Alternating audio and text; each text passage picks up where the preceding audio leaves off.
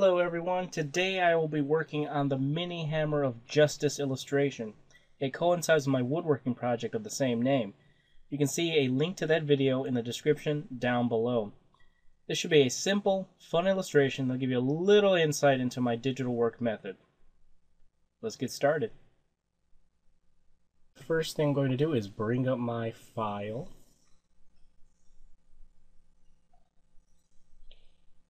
Alright, here we go. So what I have here is a reference image that I shot of myself holding my mini hammer and afterward I did a quick sketch based off of that reference. Made myself look a little bit different. I look a little bit more Asian because my main character is going to be Asian Hispanic. And I gave myself some body armor and a big fluffy goatee. And I darkened out the background most likely this image is going to be pretty dark and it's going to focus mainly on the hammerhead. It's going to be zoomed in and there's going to be a blue light illuminating the image that's going to highlight um, the hammerhead and part of the face here. So let's set this up.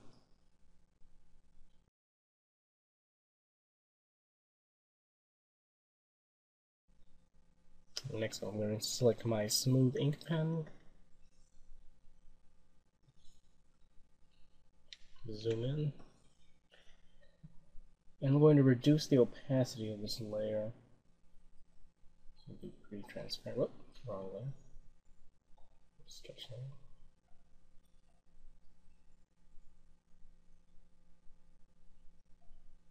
Twenty-five is good. Now what I'm going to do is start with the hammerhead. What I like to do for straight edges is usually to use the pen tool. I find that it makes things much more simpler and get a nice cleaner look. And the great thing about the pen tool is whatever brush you have selected over here, it will mimic those lines and that consistency of the brush within the pen tool.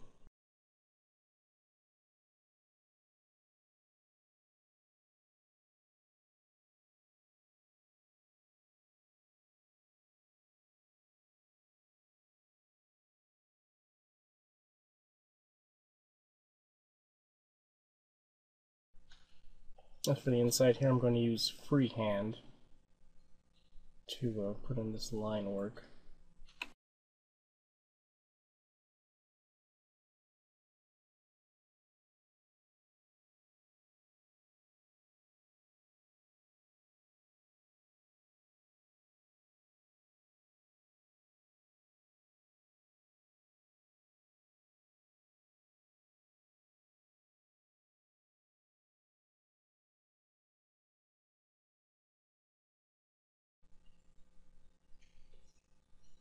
Now what I'm going to do for the bell uh, attachment from the top here, I'm going to create another layer on top of it so that I can have free play to move the object after I've drawn it and then I will erase the lines that are behind the bell here.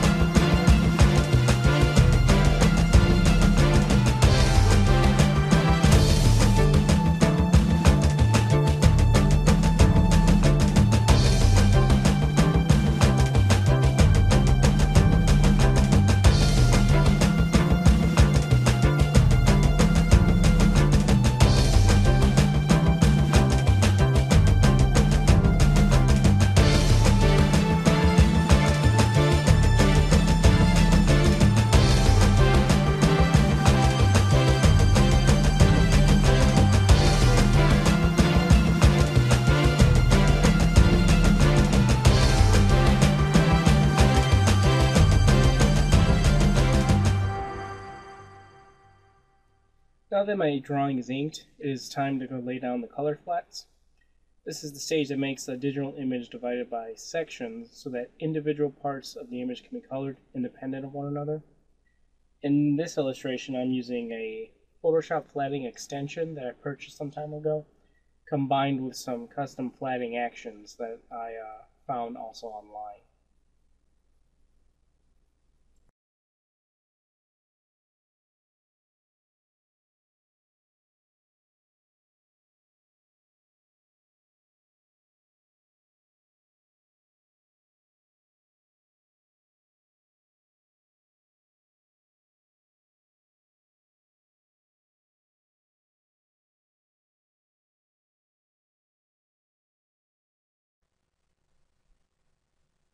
So my flats layer is pretty much the way I like it. I'm going to rename it flats, and this one's going to stay hidden away, so you know I'm not going to see these colors. But what I will do is copy the layer over. That's going to be my base layer for my colors.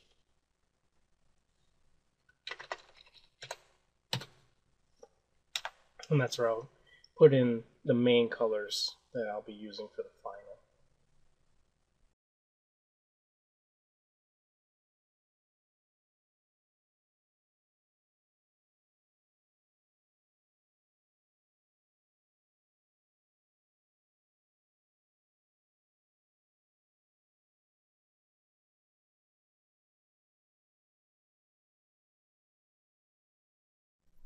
And there go my early tonal flats. Most likely I'll change some of these colors later on, but it's a good start so that I can uh, begin the coloring process. So what I'm going to do now is lay down a few different color comps, get a general idea of how I want the colors and tone to be for this piece.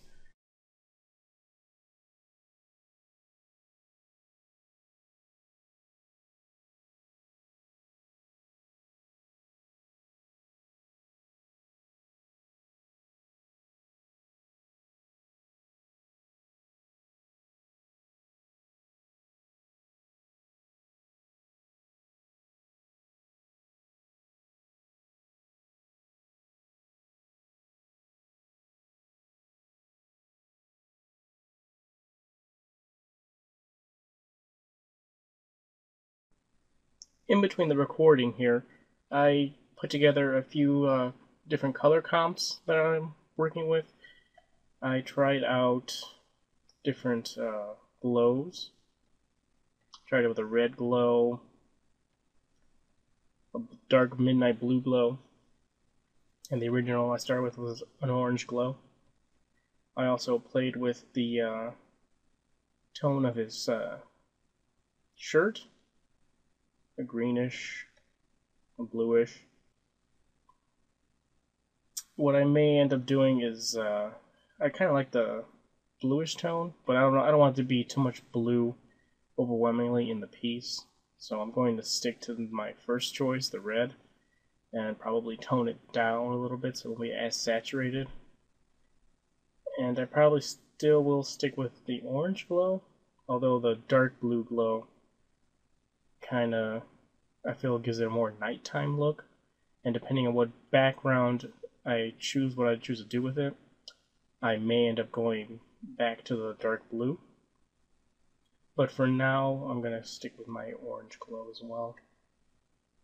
At this point, I'm uh, laying down some hard shadows that go underneath the, the objects, like under the armor and under the face, under the hammer and these are done with a hard brush and after that I take a Gaussian blur and I blur it down about 1.5% and I also lighten the opacity of the darks.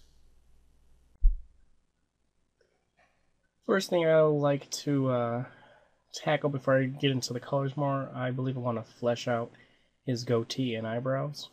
And for that I'll make another layer and I will label that hair and I will use a special brush I have for that.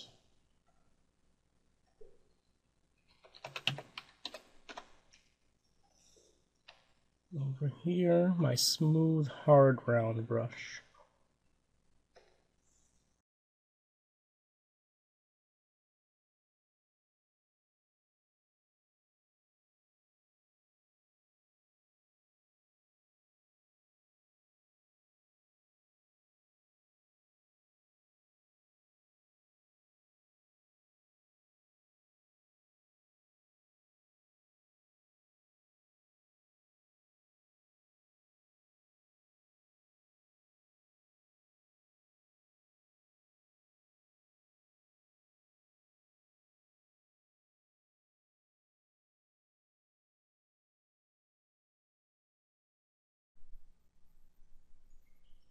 Something I like to do before I really get into the fine and finishing details of the coloring is I like to add some textures for realism to my work.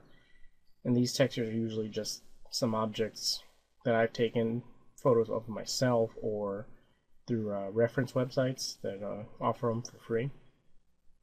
I'll take them and add them to the image, manipulate them a little bit for the shapes, and plug them in. And that's what I'm going to do right now with some of the pieces. I'm going to view some texture on his shirt, the hammerhead, the uh, armor, and probably within the leather here and the handle.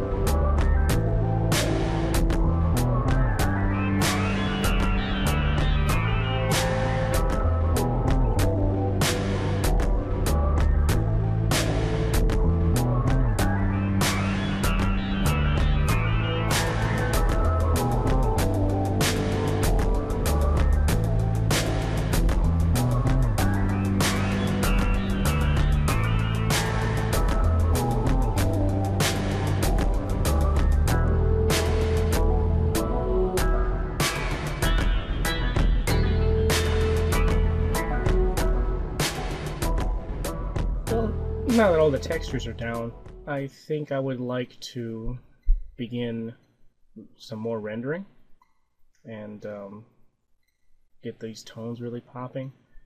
Uh, first thing I think I want to do right now is add some facial scruff to uh, my character and test that out and just uh, work on through solidifying the tones outside of the hammer. And then once I finish that, I'll get into the, the hammer because it's going to have this glow here, which I have a practice uh, test one right here.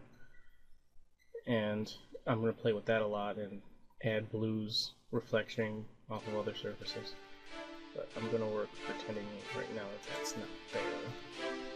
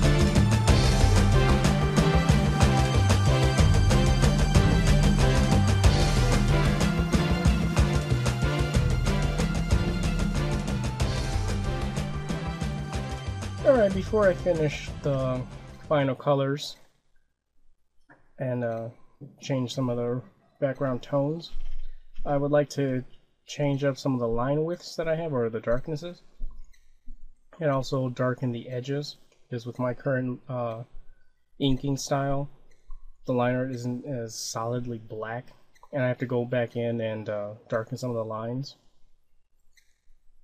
So I'm going to start with lightening the inside first and then darken the outside.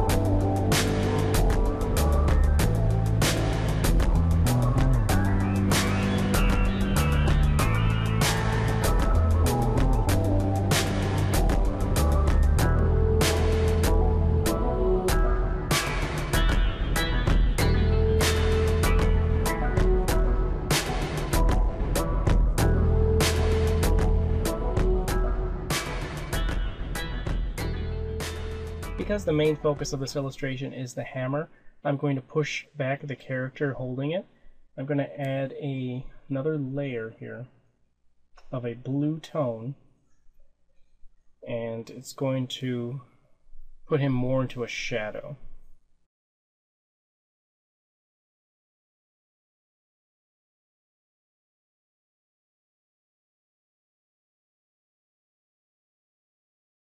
Something else I would like to do to the jewel down here would be to add a type of pattern. And I could try and draw something freehand, but I'd rather just uh, use a texture and manipulate it.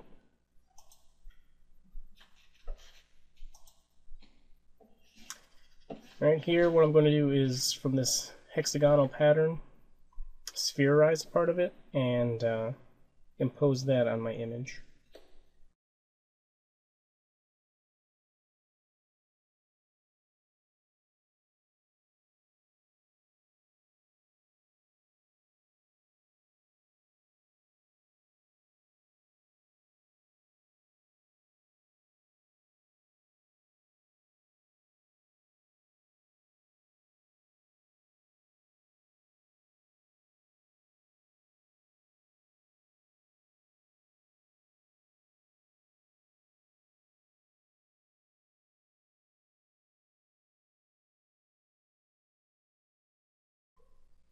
Alright, this image is almost done. The last thing I'd like to do is manipulate the gem glow.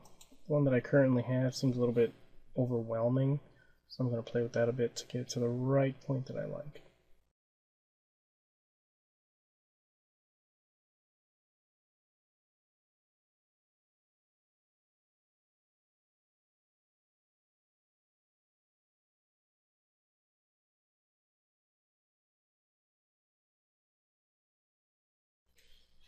And I believe that should do it for the glow. I didn't want it to be anything too overwhelming.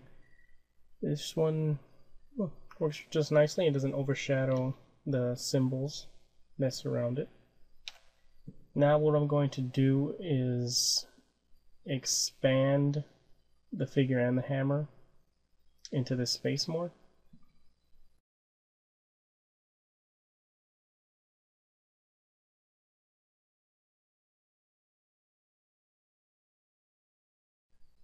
And here goes the final result. I hope you enjoyed watching me make this video today. Uh, please like and subscribe down below. Make sure you check the little bell so you get every notification for every uh, new video that I post. I hope you also check out the corresponding woodworking video that this illustration is based off of, where you get to see me make the hammer that this character is holding, and also get some insight in my creative process in that. As always, thank you very much. I'm Jim Vargas, the Woodworking Illustrator.